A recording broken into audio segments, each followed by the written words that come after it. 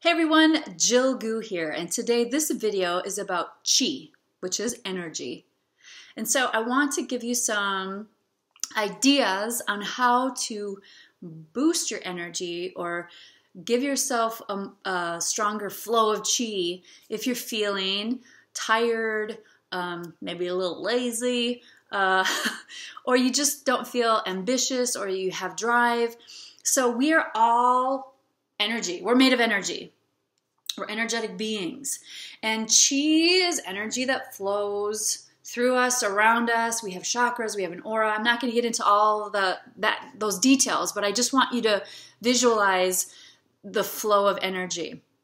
So there's lots of different ways we can do this, and we're all different. So it's like, find what works for you, right? I'll give you an example. For me, um, the way that I love to uh, activate my chi, I meditate all the time uh, every day I meditate, and that just to me that balances and, and gets things kind of set for the day. But some people are like, "Yeah, that's not for me. I'm not. I'm Type A. I can't meditate." No, that would just make me fall asleep. I can't focus. Um, other things that you can do: um, music can uh, charge us up, dancing, flowing. You know, getting our bodies moving.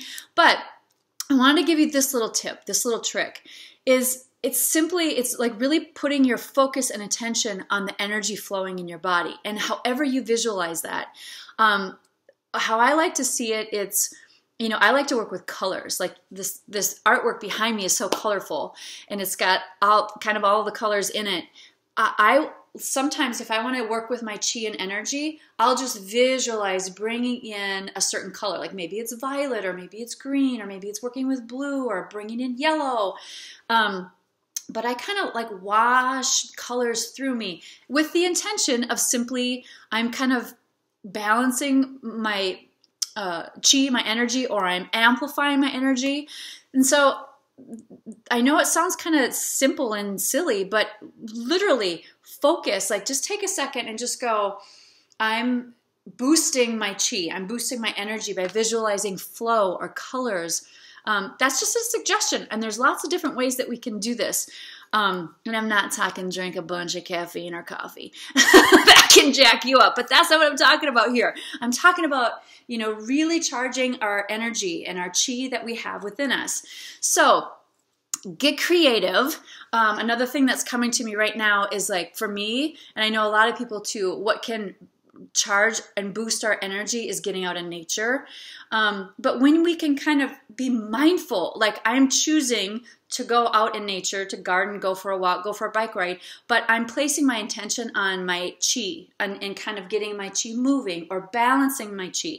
If you put those two together, it's like ding, ding, ding, ding. And it's like, oh, okay. Then things start to kind of balance out or get in the flow.